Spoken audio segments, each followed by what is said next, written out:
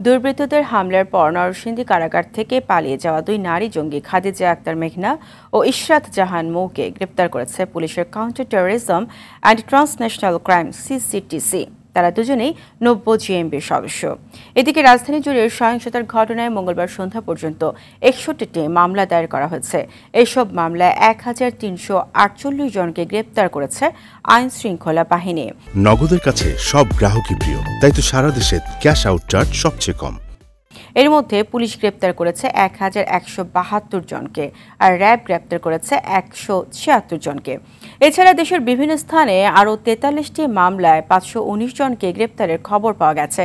তবে সারা দেশে এখন পর্যন্ত কতজন গ্রেপ্তার হয়েছে বা কতটি মামলা হয়েছে সে ব্যাপারে পুলিশ সদর দপ্তর নিশ্চিত করে কিছু বলতে পারেনি।